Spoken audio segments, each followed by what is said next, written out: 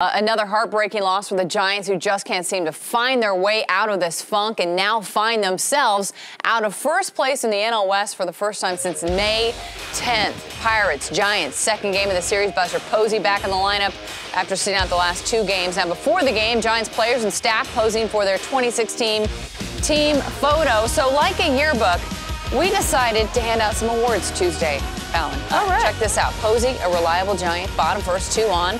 And Buster's going to double to right center. That's going to get down and run. Denard Span, Angel Pagan score. So Posey going to get most dependable. I think we can all agree with that. Always coming through in the clutch. Now, a lot of luscious locks on display in this one. None better, however, than John Jaso. Top second, he doubles to left. Francisco Cervelli is going to score to tie the game up.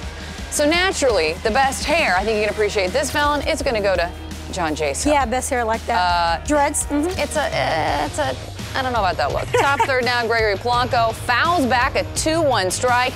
This fan falls to the ground trying to get the ball, uh, but he's laughing, so naturally we're going to go with uh, Class Clown. He's having some fun with it. Can laugh at himself. We like it. Yep. Uh, bottom six, now 3-2 Pirates. Posey on first, Brandon Crawford doubles to get him and Posey both in scoring position. Giants would go on to tie the game.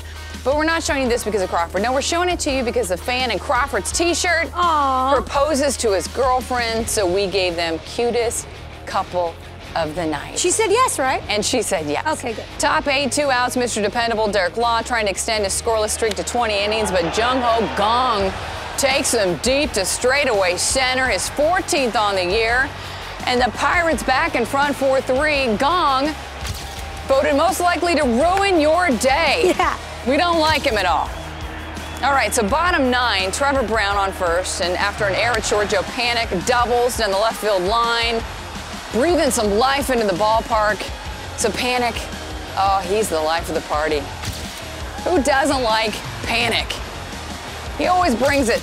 Now, two batters later, two outs. Denard Span with a chance to walk off for the Giants, uh, but he's going to ground out to second instead. And Span, uh, the biggest flirt.